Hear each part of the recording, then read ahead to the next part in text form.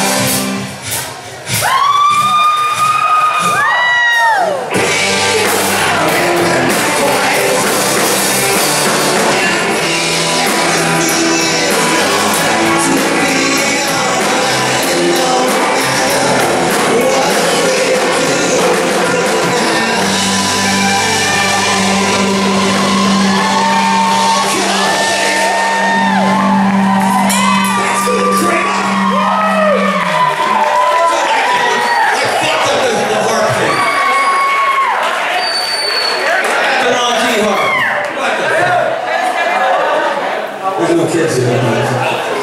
Just me.